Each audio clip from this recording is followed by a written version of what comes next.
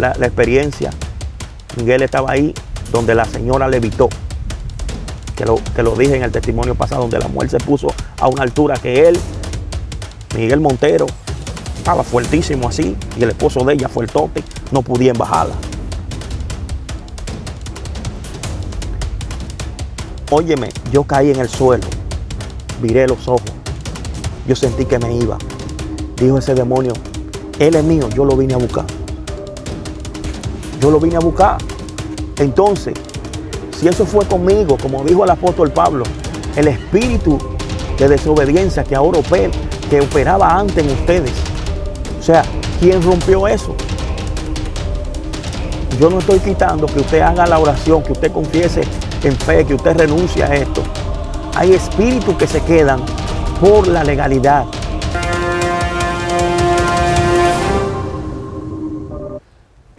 Dios te bendiga, guerrero, de una manera muy especial.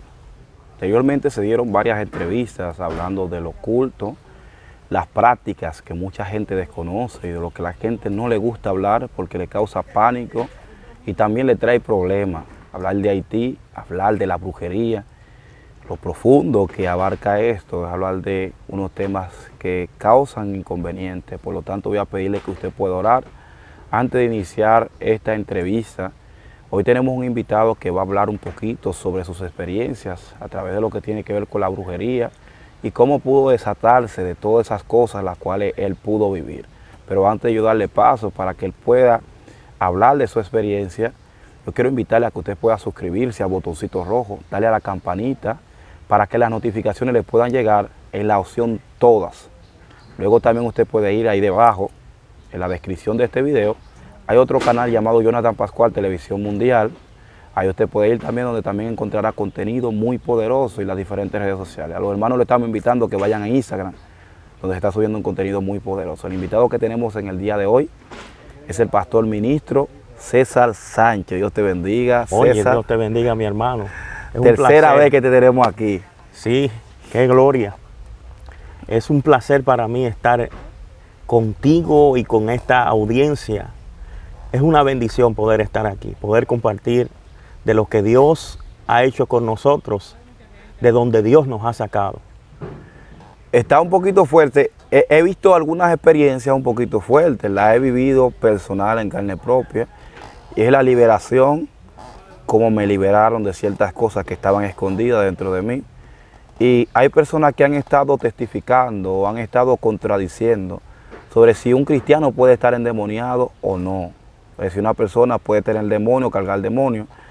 Eh, anteriormente en las entrevistas que te hicimos, pudimos ver que tú testificabas concerniente a que a ti se te manifestaron algunos demonios. Yo quisiera saber, dentro de lo que cabe esto, tú te conviertes. Cuando te conviertes, tú te congregas a una iglesia o directamente tú vas donde se te ministró liberación. Cuando me convierto, me congrego con el apóstol Norbert. En ese tiempo, la iglesia estaba, estaba feíta la iglesia, pero yo estaba más feo. Porque tú sabes que yo había venido de un mundo, yo había explicado en la entrevista que nosotros hacíamos, me iban a enseñar a hacer dinero con, con hoja, con varias hojas específicas. Yo iba a empezar a hacer dinero. Entonces me, me ora liberación, me reconcilio con Dios, vomito los resguardos, parte de los resguardos, muchísimas cosas, y me empiezo a congregar ahí. Empiezo a congregarme con Olve, y como eh, él mencionaba en- cuando me ungió como pastor, que yo le dije, no, no, vamos a organizar esto, vamos a hacer un ministerio de, de, adoración. Porque solamente una persona cantaba. y vamos a organizar esto, vamos, empezamos con la enseñanza. Enseñé un, un taller que yo tengo de, de- de cómo influye la brujería contra la iglesia. O sea, y el sincretismo de, de los, de la brujería y esas cosas. Pero primero pasé por el proceso de liberación antes de hacer todas estas cosas. ¿Por qué tuviste que pasar por un proceso de liberación antes de enseñar? Bueno, yo prendí más velas que la misma fábrica, esa es una. Hice muchísimas oraciones. Mi cartera estaba llena de oraciones. A la gente lo mandaba a comprar oraciones. A la gente lo mandaba a comprar, cómprate tal cuadro. O sea, a la gente lo mandaba al altares.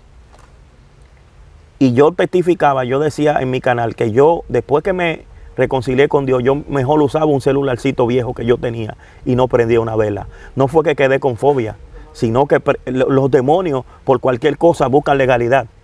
Entonces, está bien, la palabra posesión en una de sus connotaciones quiere decir dueño. Cuando tú aceptas a Cristo, Cristo es tu dueño, pero si yo dejo estos lentes en tu casa, yo puedo irlo a buscar cuando yo quiera. Entonces, con todas las puertas que yo abrí, con todas las legalidades que yo tenía del pasado, y además los espíritus de las tinieblas, siempre tú le perteneces. Ellos dicen, cuando, cuando tan fuerte, revelado en la liberación, Él es mío, ella es mía. Si no es que se casó contigo, es por un compromiso que hiciste. O sea, los compromisos, los acuerdos, le dan apertura a los demonios. También hay otra cosa que la Biblia dice que el Señor visita la maldad de los padres hasta la cuarta generación y hace misericordia de millares de millares a los que le aman. O sea, eh, el cristiano, Satanás no es su dueño, no, está, no puede estar poseído. Ahora, hay algo que se llama posesión, que es parecido a lo que pasa en la, brujería, que es cuando el demonio sube y toma el control de la persona. Entonces, por eso, todo cristiano, cuando se eh, conoce al Señor, le abre la puerta al Señor, necesita pasar por un proceso de liberación. ¿Por qué? Porque dice, dijo Pablo, que en nosotros operaba antes el espíritu de desobediencia que ahora opera en los hijos de la oscuridad. Pero no basta solamente con arrepentirme y convertirme. Ok, me aparté de mi pecado, ya no voy a pecar más, ya no estoy cometiendo esto. porque yo necesito liberación si ya yo me aparté de mi pecado? Es como te dije, es como estos lentes, lo dejaste en tu casa. Tú le diste una legalidad. El espíritu operaba en ti. Tenía derecho legal. Cristo lo puede sacar. La sangre de Cristo me limpió. Claro que te limpió. Pero hay legalidades que hay que romperlas. No es que tú vas a estar renunciando toda tu vida. Que yo renuncio a esto, que yo. La renuncia es cuando Dios te mueve a renunciar. Hay personas que Dios lo toca y lo liberta. Y vomitan, eructan, se van por grito. Como a mí en medio de mi proceso. Yo iba a trabajar y a veces tiraba gritos y, lo que hacía era un chiste para que mi asistente no, no, no, no se diera cuenta y abotezaba mucho y decía allí qué sueño tan grande que tú tienes.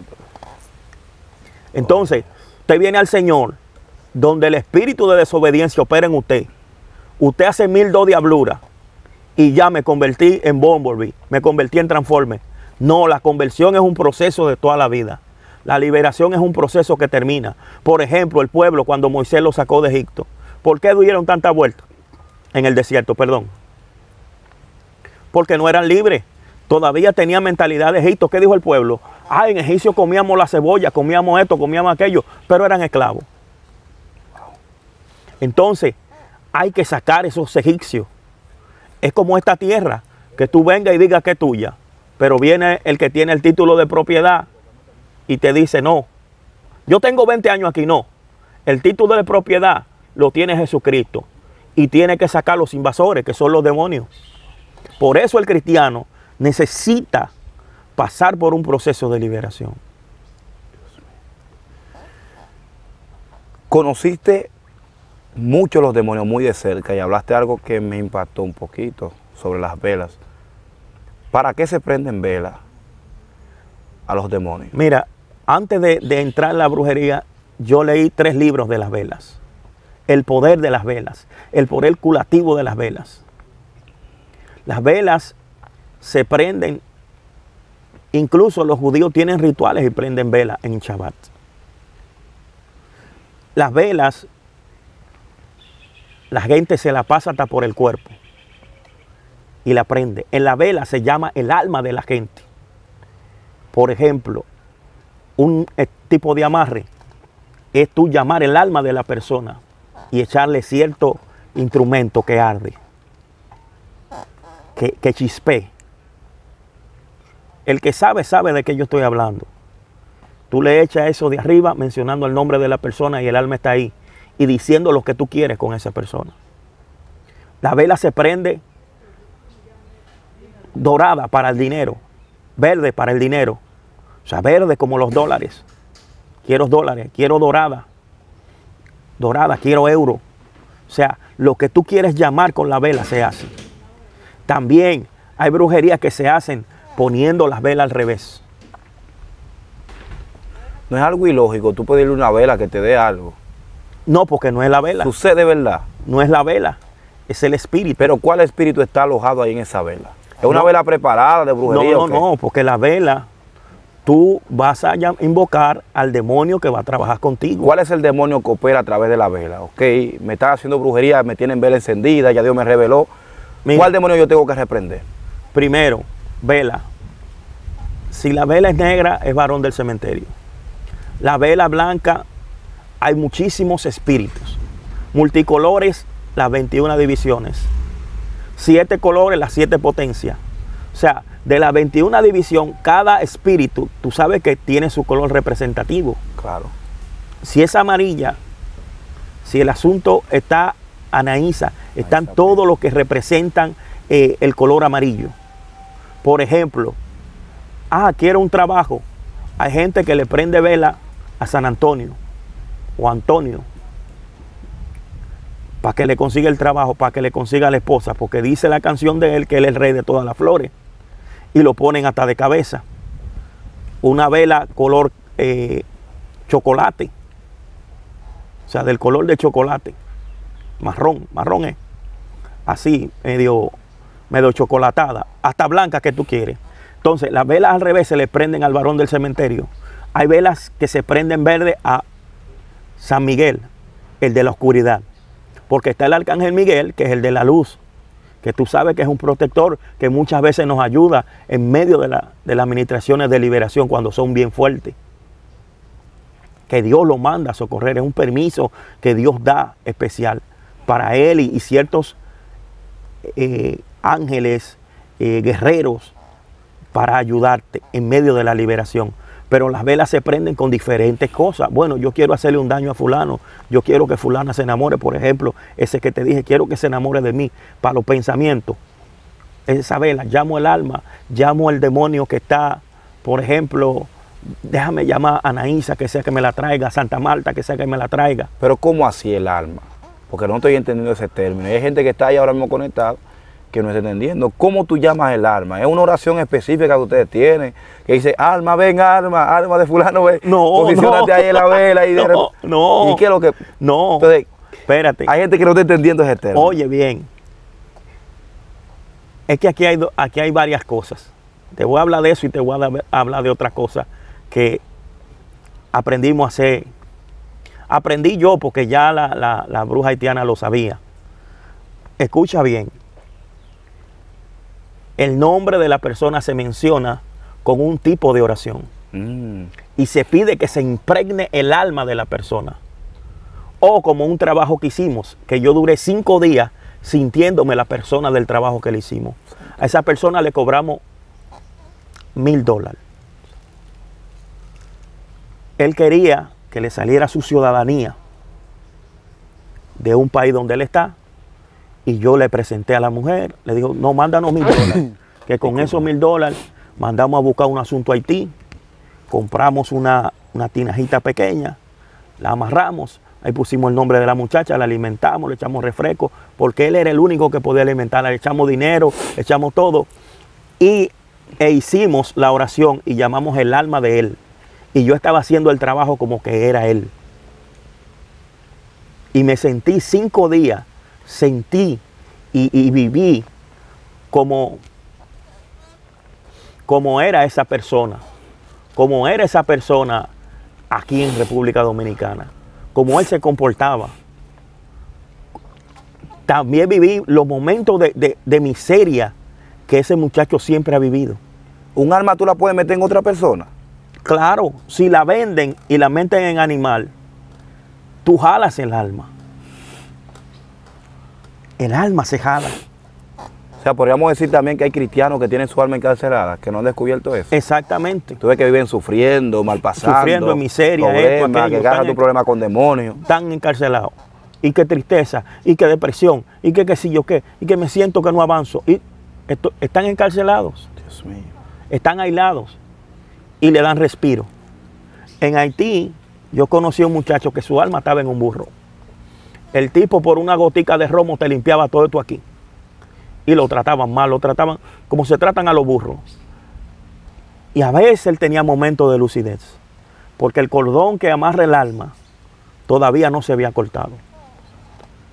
Y para tú recuperar una gente que la hayan vendido, por ejemplo, ahí mismo en Haití donde el brujo fue una gente a decir que a su papá lo vendieron. Y él le dijo, cuando subió el varón del cementerio, le dijo, dame 7 mil dólares. Dólares americanos. No, yo lo que tengo son mil dólares. Y lo sacó a machetazo de ahí. ¿Tú crees que yo soy relajo? ¿Tú crees que el varón, el varón que subió ahí, dijo, ¿tú crees que yo soy relajo? O sea, para poder libertar esa alma, según él, era 7 mil dólares que tenía que pagar. Imagínate, hay muchos cristianos pasando la mil y una y no avanzan, y no avanzan, y muchas veces se siente que no es el mismo. Eso es síntoma de que su alma está encarcelada, de que su alma está en algún lugar. Yo he visto mucho, muchas, en muchas liberaciones en las cuales he podido participar que los demonios hablan, por ejemplo, que su alma está en el reino de fuego, o en el reino de aire, o en el reino de tierra, en diferentes reinos, en el desierto también, en diferentes lugares. Entonces, por lo que está testificando es algo muy profundo porque hay gente que desconoce esto, hay gente que le quiere servir a Dios, pero no puede orar, Están, no están puede ayunar, es como que lo tienen amarrado. Están amarrados. Incluso el salmista David en un momento de su vida estuvo encarcelado y le dijo al Señor, saca mi alma de la cárcel, porque estaba en un momento de encarcelamiento donde él no podía adorar a Dios. Le gritó, alma mía, adora al Señor, adora a Dios, porque en ese momento él no pudo ni siquiera levantar la adoración. Un hombre que tocaba el arpa y hacía cuantas cosas para Dios. No, y los cuando él tocaba el arpa, los demonios de Saúl Se sujetaba. se sujetaban. Porque lo hacía con amor hacia Dios. Hay gente que tiene amor y pasión a Dios, que quiere avanzar, pero estando en la cárcel que están, es como un... El apóstol y yo oramos. Eso fue al principio de yo comenzar a ministrar junto a él. En los tiempos que ministrábamos así, de a poquito. No como ahora, que el ministerio tremendo. Óyeme, había una muchacha que le oramos y la muchacha no era ella. La muchacha tuvo que empezar de cero porque la muchacha estaba como una especie de paraíso, la tenían los demonios. En un lugar tranquilo donde ellos la sustentaban, donde le daban comida a su alma. Y la muchacha tenía un desastre, la universidad la perdió, perdió muchísimas cosas. Y luego tuvo que adaptarse nuevamente a su vida cuando el Señor la libertó de aquella cárcel. Son cosas profundas. Son cosas profundas. Hay gente que te escribe y te dicen, yo estoy enferma, tengo tal cosa y los médicos no encuentran nada. Podríamos decir que esto también es un tipo de, de castigo que dan los demonios desde las prisiones oscuras que mucha gente no conoce. Exactamente. Mira, hay otra cosa que te iba a decir antes de seguir en ese tema. Es que la bruja decía, no me llame detrás del monte. ¿Cómo así? ¿Cómo así? Tú te vas a un sitio de brujería, por ejemplo al Ceibo. No voy a mencionar el nombre, no vaya a ser que no, nos mande un asunto. Ahí él tiene, es como una montañita, tú te vas detrás de la montaña y llamas a la gente para allá. Los llama para muerte, los llama para destrucción, los llama para encarcelamiento, los llama para estancamiento. O sea, cuando tú lo quieres ver morir o lo llamas para venderlo. Llama, te dicen, te explican, tú vas a hacer esto, esto, esto, y lo va a llamar. Va a llamar su alma aquí, que venga aquí. Y aparte del alma, la persona, no sé, como que encuentra la manera de llegar allá. Allá. O sea que lo primero que hace una persona es agarrar el alma de la persona y luego su cuerpo va directamente allá. El hombre va allá. Dios mío. Va ya literal. Esta gente que se suicida, que se quita la vida, ¿es así que lo provocan? Toman el alma primero cautiva y luego... Le cautivan el alma, le causan, entra, entra la tristeza profunda, empieza esa depresión blanca, que está deprimido no sabe por qué. Tiene comida, tiene esto, tiene aquello, tiene trabajo, tiene que estar agradecido de Dios, pero te entra un ataque de ansiedad, de la nada. Que no puede dormir. No puede dormir. Yo en un tiempo estaba así.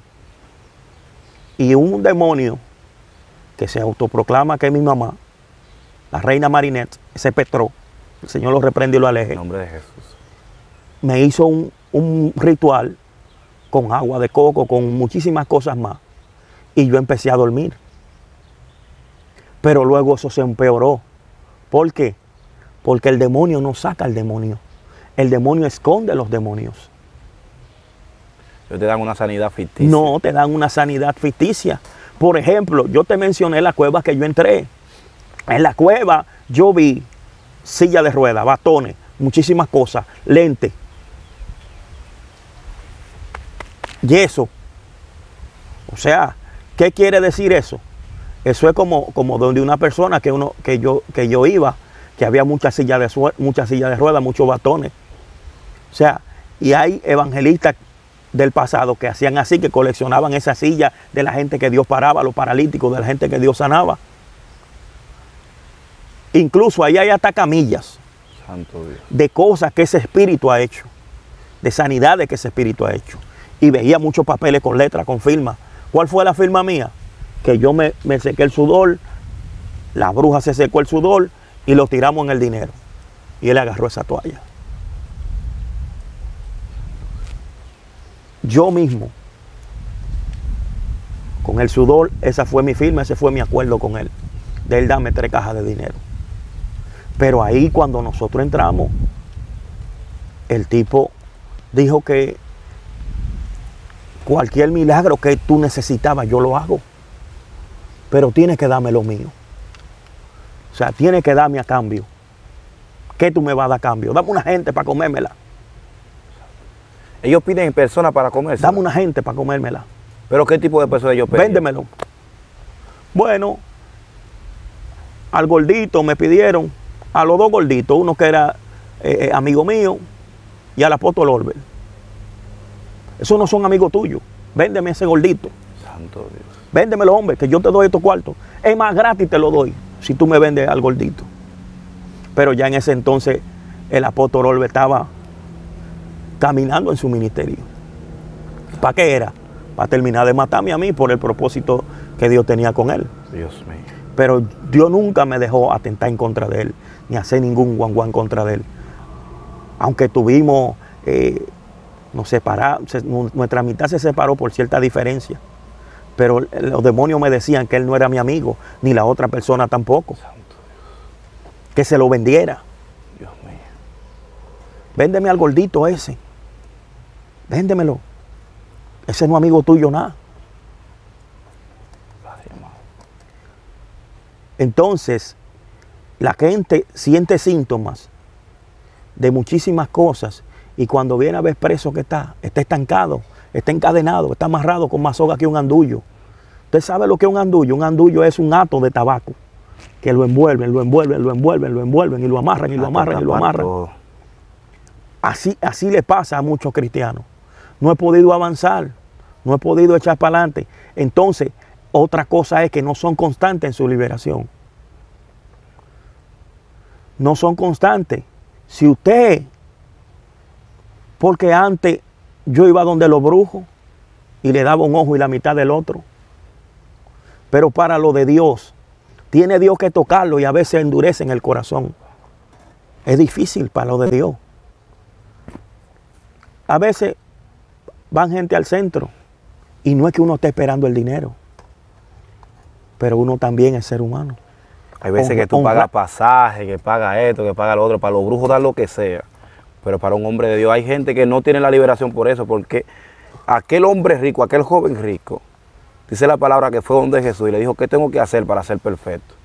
Él le dijo, guarda los mandamientos. Desde mi juventud lo he guardado. El niño lo he guardado. Ahora, cuando Jesucristo lo miró, le dijo, ahora toma todo lo que tiene y dáselo a los pobres. Dice que se entristeció y se fue a su casa porque era mucho lo que tenía. Tú sabes Hay que- gente que tiene maldad en su corazón, que el pecado de ellos es lo que tienen. No se lo dan a nadie, ni lo ofrecen para que hombres de Dios puedan ayudar a otros. Ellos son egoístas de por sí. Y el egoísmo es un demonio terrible.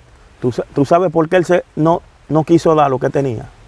Porque el tipo dice, he guardado los mandamientos desde niño. El tipo era sacerdote. O sea, no le pertenecía tener tierra, no le pertenecía tener eso más que su sustento. El- ese hombre joven era sacerdote porque dice que desde pequeño había guardado los mandamientos y tenía que entregarlo todo. Imagínate entregar todo. Ahora, donde el brujo tú vas y te dice, son 60 mil y la gente lo entrega. Son mil dólares, son dos mil dólares, la gente lo entrega. Pero cuando Dios te manda a honrar al hombre de Dios, tú no endurezca el corazón. No endurezca el corazón. Porque es como un caso de una señora que le mandó 20 mil dólares a alguien y esa persona no le ayudó en nada. Sin embargo, vino al ministerio y lo único que mandó fueron 100 dólares. Y Dios hizo más a través del ministerio. O sea, la gente debe de aprender a honrar el ministerio que le bendice su vida. Dar honra al ministerio que bendice su vida. Y no es pidiendo, porque nadie necesita su No, dinero aquí. No, sino que usted tiene que aprender lo que es honra. Dice la palabra que Namán tenía una lepra y llevó mantos, llevó de todo para honrar al hombre de Dios. Dice la palabra que nadie se presentará delante del profeta o delante de Dios con la mano vacía. Y hay gente que se está presentando con la mano vacía y no saben que la honra, la persona que tú honras, esa misma honra se te va a manifestar a ti. oye, ¿Dónde están los, los nueve leprosos? Porque eran diez los que, los Diez. que. Diez. Yo Solamente te- uno se yo devolvió. tengo en mi canal una prédica cuán agradecido estoy con eso. Vino un extranjero a darle la gracia a Jesús. Uno extranjero. No es el dinero lo que importa. Es que se vea la actitud de gratitud. Porque yo oro a Dios y Dios me dice, no, no le coja la ofrenda. Mucha gente yo le he dicho, no, recoja su, su dinero de Western Union, recoja de, recójalo de aquí. Porque Dios me ha dicho que no. Y Dios es el que sustenta. Pero sin embargo, ¿cuánto? Es, otra gente que el muchacho que le hicimos el trabajo embarazó a la muchacha en el sitio que le estaba, consiguió su residencia y empezó a irle mejor en su trabajo. Funcionó la brujería. Él mandó otra gente y esa persona le pedimos mil dólares. Y el trabajo a esa persona no le funcionó. Incluso ellos quisieron, la bruja era súper amiga mía, y ellos quisieron traicionarme por atrás. Y ella me enseñó todo. Mira, esta gente no son confiables. Cuando la gente trabaja así, oiga cómo eres esa bruja conmigo. Cuando la gente trabaja así no son confiables. Si me lo hacen a mí, te lo hacen a ti.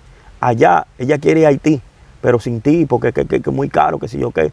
Pero si tú no vas, que fue que vinieron a través de ti esa gente, yo no voy para allá con esa gente. Oye, y a esa mujer nosotros le cobramos de ese país mil dólares. Y porque ella mandó los mil dólares, lo mandó cheleado los mil dólares, le dijimos que el trabajo no funcionó. Sin embargo, el otro muchacho que no podía, pudiendo la mujer, mandó su mil dólares uno arriba de otro. Y le dijimos a la mujer, son dos mil dólares y tiene que mandarlo de una vez. O si quiere venir, venga. Pero ella, ella le hacía creer que no me había dicho nada.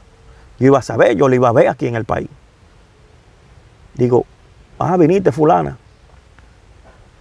Porque ella pensaba que yo no, no, no me iba a enterar de lo que ellos hicieron. O sea, mire la lealtad que tenía esta mujer conmigo.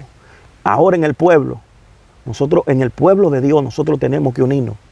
Porque el reino de la tiniebla está organizado, está unido. Aunque son malos, trabajan en conjunto para destruir la vida de los hijos de Dios y de los que no son. Y si tú no entiendes que necesitas romper con todo lo del pasado, con todo eso que no te deja avanzar, porque Dios en su misericordia te permite ver muchísimas cosas ver poquito, pero Él quiere que tú veas su propósito, que tú veas su gloria, que tú veas su gracia. Que tú veas todo lo que Él tiene para contigo. Todo lo que Dios tiene para contigo. Porque mira, yo pasé un proceso feo y pasé mucha necesidad, pasé mucha, mucha miseria. Estuve muy estancado, estuve muy encarcelado. Cada trabajo, cada cosa era un reclamo de la tiniebla. Los pies se me hinchaban, las manos se me caían las cosas de la nada. Sirviéndole a Dios ya. Ya sirviéndole a Dios. Se me caían las cosas de la nada. E, e, era torpe mi trabajo. El precio que tú pagaste para tu liberación, ¿qué, qué tuviste que hacer? ¿Tuviste que meterte al monte, tirarte en el piso? ¿Qué, qué pasó ahí? No, yo, el Señor me entregó el ayuno como una especie de arma. Yo primero a la tiniebla le hice 14 días. Al Señor hice 7 días sin comer. 7 o 8 días sin comer. Porque yo quería que me libertara. Y paraba ayuno, ayuno, hora, ayuno, hora. Yo a veces hasta me dormía en el trabajo. Porque oraba de madrugada, estaba cansado por la batalla tan fuerte que yo tenía. Y me vi varias veces al morirme. Varias veces tuvo Dios que utilizar al apóstol para Jesús libertarme de esa muerte. Me vi muriéndome, literal. La primera vez vino, la en el segundo proceso llegó el hombre de la sombra y dijo, él es mío, yo lo vine a buscar. Yo lo vine a buscar entró esa, esa, brisa así, ¡fua! que Olve hasta se asustó. Y Dios mío, yo no había vivido esto. Y mira que él había vivido cosas. Después de eso vivimos la, experiencia. Miguel estaba ahí donde la señora le evitó. Que lo, que lo dije en el testimonio pasado, donde la mujer se puso a una altura que él, Miguel Montero, estaba fuertísimo así, y el esposo de ella, fuertote, no podían bajarla. Óyeme, yo caí en el suelo, viré los ojos, yo sentí que me iba. Dijo ese demonio, él es mío, yo lo vine a buscar. Yo lo vine a buscar.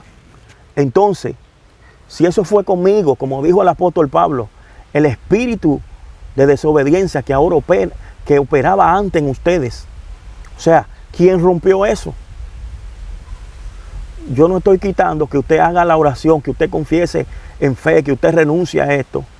Hay espíritus que se quedan por la legalidad que usted le haya dado, por la apertura, aún por cosas, por entrega que han hecho los padres con nosotros, que nos ensalmaron, que nos llevaron aquí, que nos llevaron allá.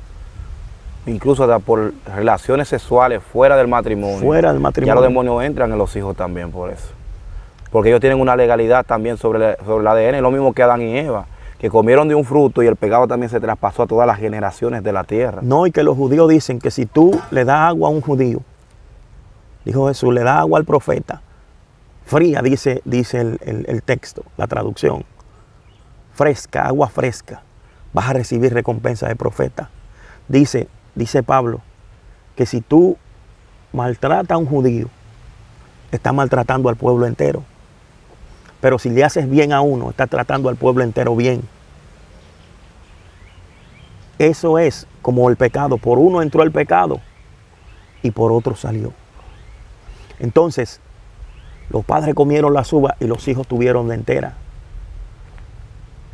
No es que usted, usted no va a cargar los pecados de sus padres, sino la iniquidad, esos pecados ocultos, esas cosas continuas, esas cosas que dice Pablo que ni aún se nombra entre vosotros. ¿Usted cree que yo me, enorgullezco de las cosas que yo hice en el pasado? No, yo me arrepiento. Y la cuento para abrirle los, los ojos al pueblo, para que sepan, para que se acerquen a Dios, para que sepan qué es lo que tienen, cómo es que se sienten, por qué lo sienten. Pero mi deseo más grande es hablar de Jesús es hablar de las cosas grandes que Jesús ha hecho con nosotros, de cómo Jesús nos sacó del, del lodo cenagoso, cómo nos, nos libertó y nos limpió, hizo de nosotros lo que hoy somos. Pero también no podemos ignorar las maquinaciones del enemigo. Y hay algo que hay que entender, Pastor César, yo forniqué, adulteré, practiqué brujería, hablé mentira, maté, me desobedecí, porque también no podemos solamente clonar esto, meter esto solamente en el renglón. Hay personas que con tan solo un trabajo que Dios les prohibió, ya ahí entró un espíritu de desobediencia. Desobediencia. Y este espíritu entra, y aunque tú te arrepentiste por quizás eh, situaciones que te sucedieron, wow, Dios me dijo que no fuera, pero yo fui desobediente y mira lo que me pasó. Hay un espíritu de desobediencia que hay que sacarlo, porque ya entró. Entonces, el pecado lo que hace es que te abre una puerta y activa algo en ti para que los demonios puedan entrar. Es como un pegamento que permite que los demonios se adhieran a ti. Que solamente una persona que conozca cuál es el químico que rompe ese pegamento eh, te lo pueda quitar. Si no, hay problema. Es como Dios le dijo a, Eso es como resolver una matemática. Un profesor, si tú no conoces la fórmula para hacer la matemática, no va a poder resolverla. Entonces hay gente que quiere resolver matemática cuando no se sabe la matemática que el diablo tiene en una persona. Es como Dios le dijo a Caín, Caín, el pecado está a la puerta. El demonio está a la puerta. O sea, el demonio tiene que ver con pecado. Tú puedes enseñorearte de él. tú, puedes, tú puedes enseñorearte de él. No dejes que él se enseñore de ti. O sea, dice la Biblia que el que practica, el que es un deportista en el pecado, es del enemigo. O sea, nosotros venimos de ser deportistas del pecado. Ya de, de buenas a primeras somos santos. Super Saiyajin nivel 15. Somos los mejores predicadores, los mejores profetas. Y no sabiendo que todavía Judas caminando con Jesús tenía el diablo adentro. Pedro se le metió el diablo. Eh, los, hijos del trueno también se le metía el diablo porque uno quería coger eh, a la derecha y el otro quería coger el trono a la izquierda. O sea que todo tenía su quilín. Judas robaba, traicionó a Jesús, lo vendió. O sea que aunque tú camines con Jesús, hay cosas que hay que sacártela de adentro. Claro, mira, mira qué bien que lo mencionaste. Ellos peleaban. Mira, yo el sábado estaba en la escuela de los niños y dice, dice que los niños son importantes para Dios. Y dice el texto que ellos peleaban por cuál iba a ser primero, cuál, cuál este. Dijo, y llamando a un niño lo puso en el medio si usted no es como un niño, no va a entrar en el reino de él. No va a entrar en el reino. Si no se hacen como un niño. O sea, hay niños que sabemos que, tienen el diablo. Pero hay niños que son sin malicia, que son inocentes. Pero ahí es más profundo. ¿Eh? Porque no le hablo de cualquier tipo de cosa. Cuando él hablo de niños, no es que tú tienes que ser como un niño en manera de pensar y comportarte como un niño, sino que los niños estaban corriendo de Jesús para aprender lo que Jesucristo estaba aplicando. Entonces le dijo, usted tiene que sentarse como un niño, porque usted tiene que aprender, usted no conoce nada todavía. Entonces cuando él le dijo eso, lo confrontó ahí mismo, porque ellos creían lo que, que era lo más sabio, lo que más conocían. Y querían estar en posiciones grandes cuando le correspondía algo pequeño. Claro, tú quieres posición en Dios. Tú tienes que desaprender y sentarte a los pies del maestro. Buscarte un mentor que haya que Dios lo haya procesado, que Dios lo haya machacado, que, demuestre la humildad, su humildad, su amor hacia ti, su amor hacia Dios. El amor hacia ti, el amor hacia Dios. Que te ame, que te quiera enseñar, que te quiera guiar, que saque su tiempo y tú valores ese tiempo de esa enseñanza como un niño. Porque no es que tú vas ingenuo. Dijo, lo mando en un mundo peligroso, sea manso como paloma, pero astuto como serpiente.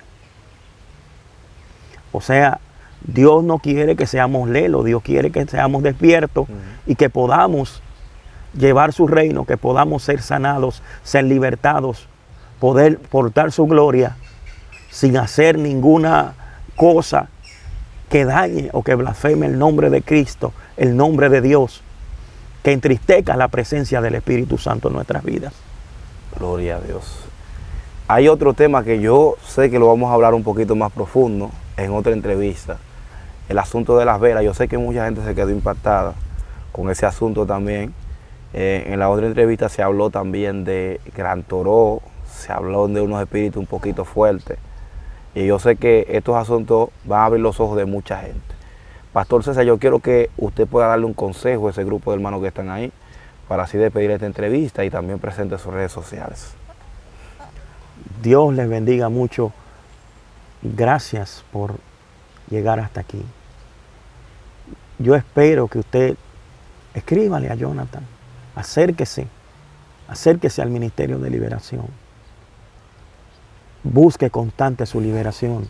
Así como usted gastaba la millonada en brujo, propóngase ser libre en el nombre de Jesús. Deje la vergüenza, deje el miedo, acérquese. Déjese guiar por el Espíritu de Dios para que el Hijo, porque al que el Hijo libertare será verdaderamente libre, déjese libertar por el Hijo. Llévese de sus pastores. Llévese, sea obediente. Siempre y cuando su pastor lo esté guiando hacia donde Dios quiere, hacia el propósito de Dios. Dios les bendiga, Dios les guarde. Se pueden suscribir a nuestro canal Evangelista César Sánchez oficial y pueden buscarme como César Sánchez en, en mi página de Facebook, en, en Instagram. Estamos subiendo contenido poderoso en todas estas redes. Dios les bendiga, Dios les guarde. Su número de teléfono, Pastor César, porque hay gente que quiere contactarse con usted. No se lo puede dar. Gloria a Dios. Cuéntalo del teléfono. Está bien, para la próxima entonces se lo vamos a dar. Nada, se ha llegado de esta parte de la entrevista. También ahí está mi número de teléfono. Estamos abiertos. Si usted necesita liberación y necesita también conseguir el número de César, usted me escribe ahí en privado, yo se lo paso sin ningún problema. Aquellas personas que necesitan liberación, que necesitan ayuda espiritual. Nada más que decir, conéctate ahí en el segundo canal, Jonathan Pascual Televisión Mundial. Los hermanos siempre lo invitamos a Instagram, vaya allá, que tenemos poquitas personas allá pero yo sé que con su apoyo allá podremos eh, lograr el objetivo que es alcanzar la mayoría de vidas que ahora mismo están atadas en esa plataforma. TikTok, Facebook, también están activas. Dios le bendiga a todos, chalón. Hasta la próxima, bye bye.